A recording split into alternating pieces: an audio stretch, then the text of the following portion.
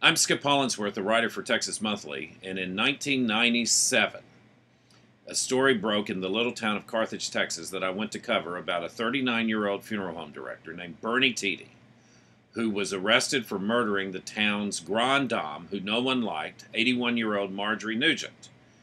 What had happened was he admitted to police he shot her four times in the back and buried her in her own deep freeze. The interesting thing was that it took nine months before anyone went and looked for her because no one missed her because no one liked her. On top of that, Bernie was the sole heir to her estate. She had rewritten the will to give everything to Bernie, and yet he's told police she made him so crazy and was so angry and so mean to him that he felt he just had to go ahead and shoot her anyway. That's the basis for the movie Bernie, starring Jack Black, Matthew McConaughey, and Shirley MacLaine, that is showing at the Violet Crown. It's a real life depiction of events.